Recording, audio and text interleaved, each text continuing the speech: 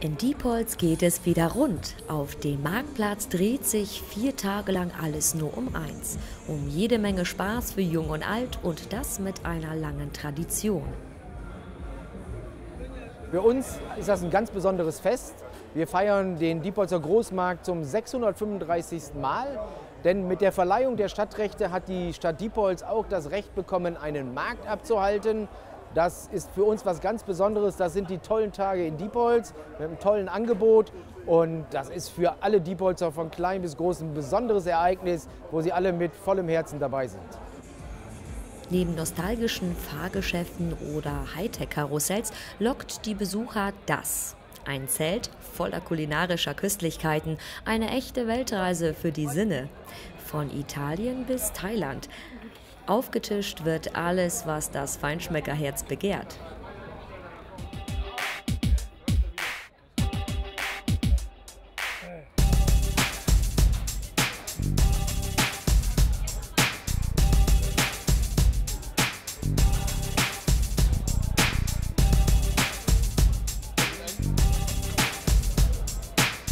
Wir hatten letztes Jahr schon einen großen Erfolg. Also die Besucher des kulinarischen Festivals waren also von der Aufmachung und von dem Inneren sehr äh, begeistert und auch überzeugt.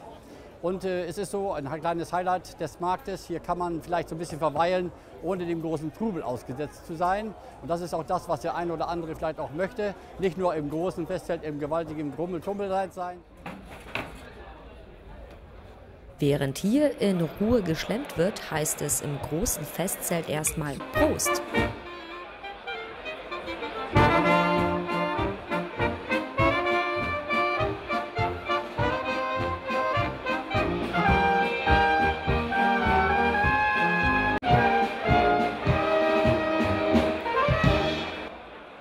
Mit viel Musik lassen es sich die Gäste aus Wirtschaft und Politik bei traditionellen Frühschoppen gut gehen.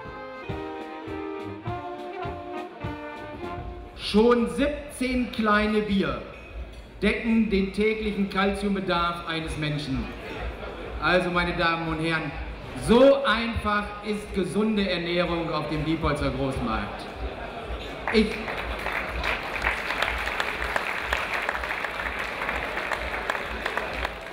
Applaus, den sich auch der Marktmeister verdient hat.